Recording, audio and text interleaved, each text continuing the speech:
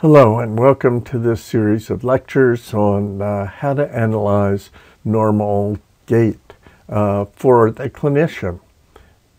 The this uh, lecture is divided into several parts. The first part is the introduction, and this is me, whom I am now introducing myself. Uh, Dr. Michael Sussman. I work here in Portland, Oregon, up on the left coast, the west coast of the U.S., and this is the Shriners Hospital uh, where I work.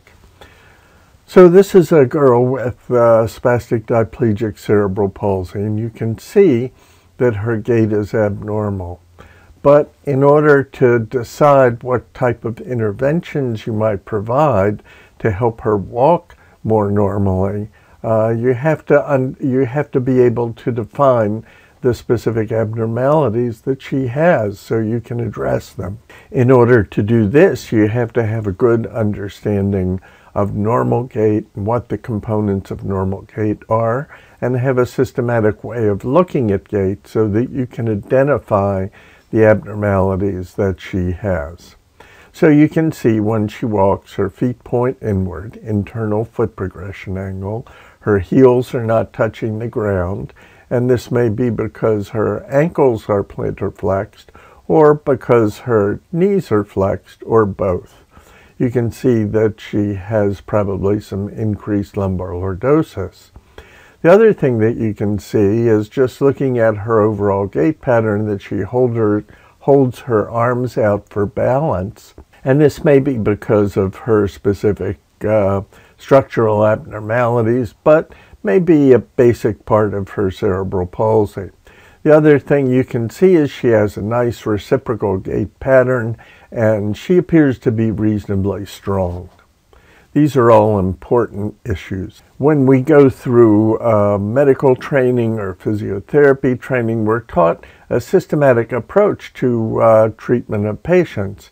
We have to first identify what problems they have, and we do this by talking to them, getting a good history from either the patient or if it's a child from their parents.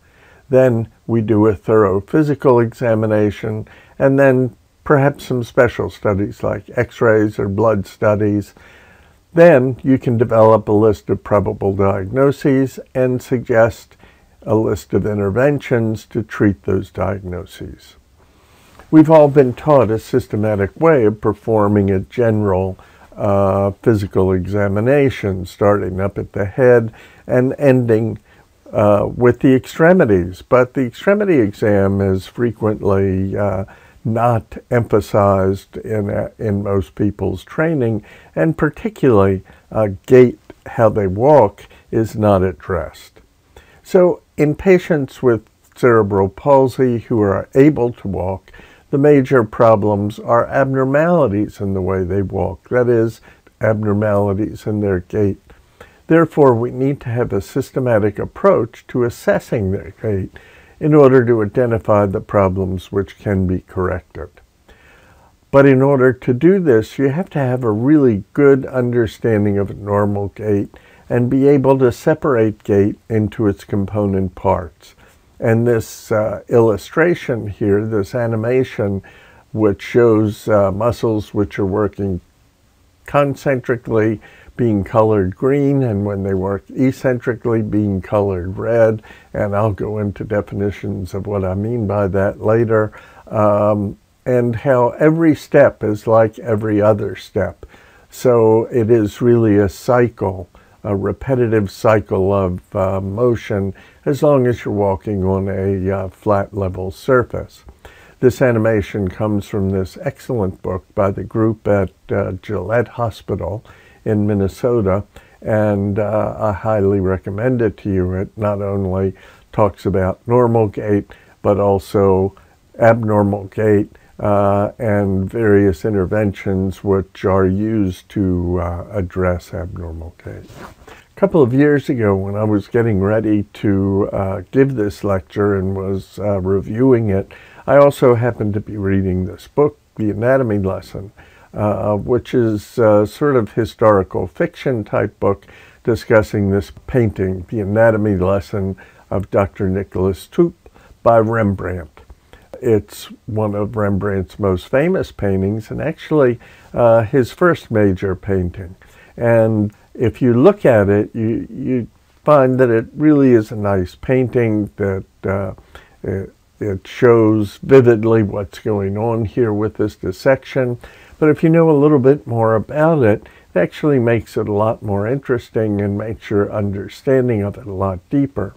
Uh, first of all, you can see how you're drawn into the center of the painting where all the action is by, by the light, that the light at the borders of the painting is darker and at the center is uh, very much brighter and so it draws you into the, the central focus of the painting.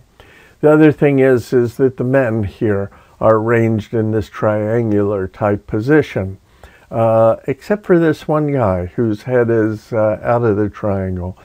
And there's a reason for this. These men in the painting actually commissioned Rembrandt to, to produce the painting.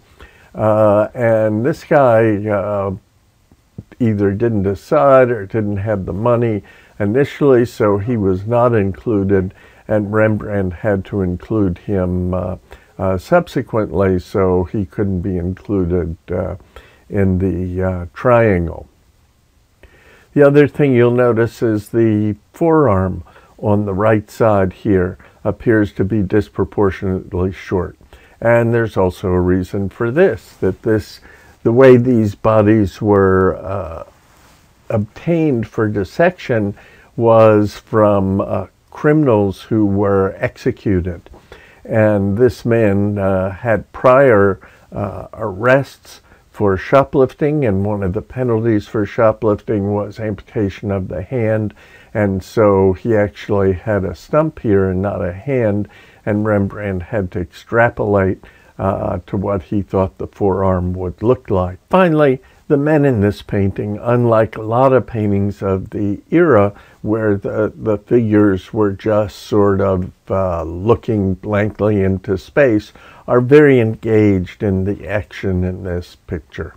Uh, this man you can see is intently looking at the uh, forearm, whereas this man seems to be looking directly at you.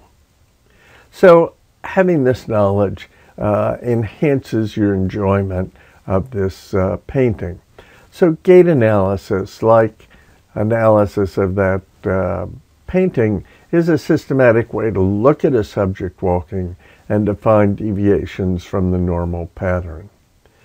So there are several things that make it possible to study gait in a scientific way. First of all, normal gait is well defined and more important, consistent by age seven.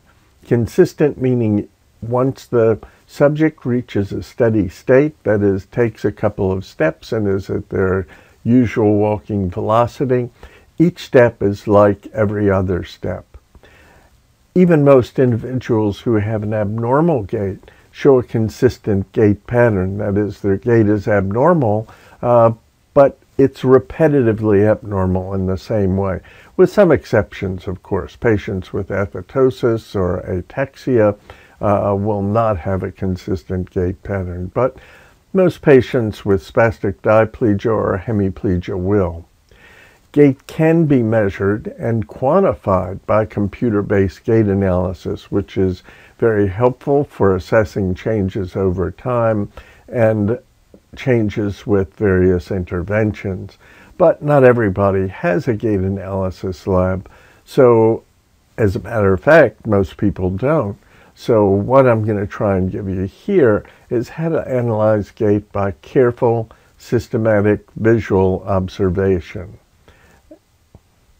We all possess an internal gait analysis system with reasonably good 3D acquisition and interpretive capacity but imprecise storage and retrieval so that you can, you can on the spot, uh, um, if you do it in a systematic way, analyze a patient's gait, but remembering what that gait was like a year hence is probably going to be difficult for most people.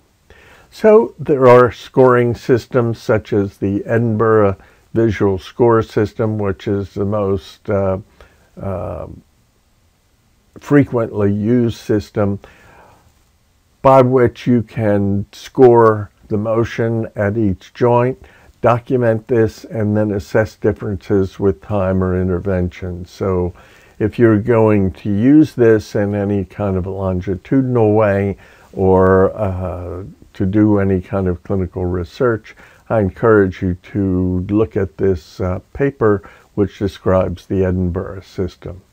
So that's the end of part one, and I hope you will continue and stay with me through the rest of the series of lectures.